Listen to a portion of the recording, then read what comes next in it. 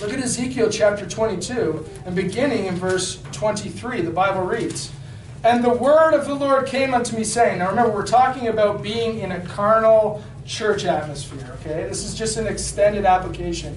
Son of man, say unto her, Thou art the land that is not cleansed, nor rained upon in the day of indignation. There is a conspiracy of her prophets in the midst thereof, like a roaring lion ravening the prey. They have devoured souls. They have taken the treasure and precious things. They have made her many widows in the midst thereof. Her priests have violated my law. They have profaned mine holy things. They have put no difference between the holy and the profane. Neither have they showed difference between the unclean and the clean. They have hid their eyes from my Sabbath, and I am profane among them. Her princes in the midst thereof are like wolves ravening the prey, to shed blood and to destroy souls, to get honest gain. And her prophets have daubed them with untempered mortar, seeing vanity and divining lies unto them, saying, Thus saith the Lord God, when the Lord hath not spoken. The people of the land have used oppression and exercised robbery and have vexed the poor and needy. Yea, they have oppressed the stranger wrongfully. You don't get any more carnal than what's happening right now in the book of Ezekiel. You have prophets who are devouring souls. You have prophets taking treasures, making widows. Is that, is that murder? Yeah. You have priests violating the law, doing violence against the law, hurting and harming the perfect law of God. They are profaning holy things. There's no difference between what's clean and unclean the princes, the leaders at this time. They're like wolves. They're destroying souls. They're gaining dishonestly. They're seeking after dishonest gain. It says here that there's, there's um, vanity and divining lies coming from the mouth of the spiritual leaders. And yet, look at here in verse 30.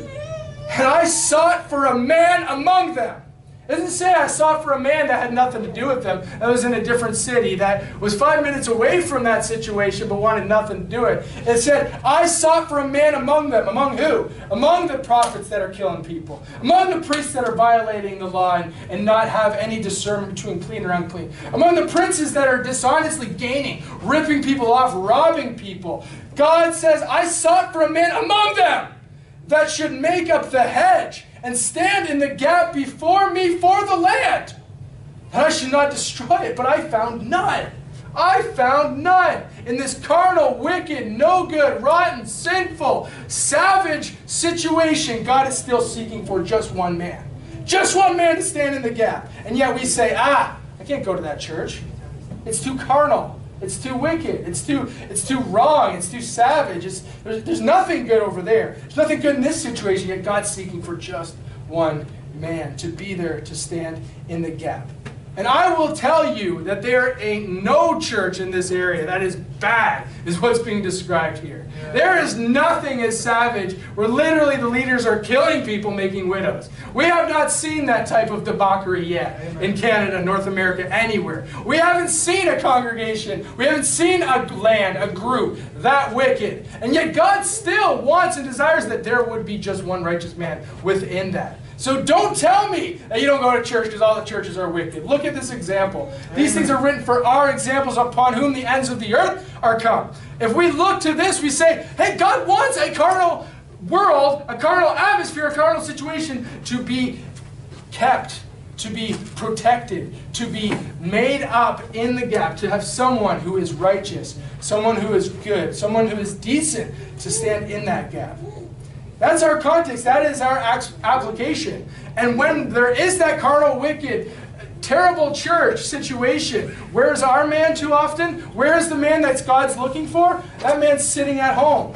That man's sleeping in on Sundays. That man's just waiting to download the next sermon. That man's um, maybe getting to his Bible reading sometime around noon. That man is not standing in the gap where he's supposed to be.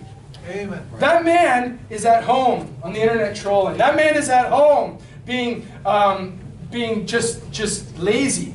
That man is being a soul winner. Instead of being in church, he's going to go out and he's going to knock on doors and try to get numbers and try to puff himself up and post it up and say, Glory to me! And God was there too, I guess.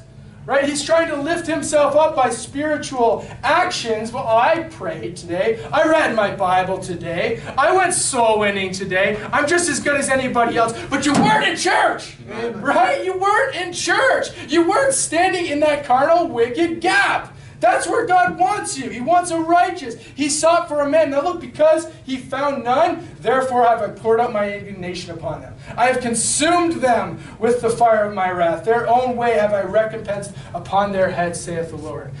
Because someone wouldn't stand in that gap. Because someone who was a righteous believer said there are no good churches, which is a lie. There's just no churches that meet their fanciful standard right? They need to, hey, that's that's the same cry, the same the same call, the same the same message that I'm saying here is, is hey, loser, get in church. That's what God wants for you. He wants you to stand in that gap. Don't go saying that there's nothing. We have the most carnal situation we could find, and yet God said, hey, go there and be a blessing. What a blessing it would have been for those people if there was that one man standing in the gap and God withheld his wrath. He withheld his punishment. He withheld his correction and destroyed it not, did not recompense. He extended grace because one man was there. This is even better than Sodom and Gomorrah. He just wanted what?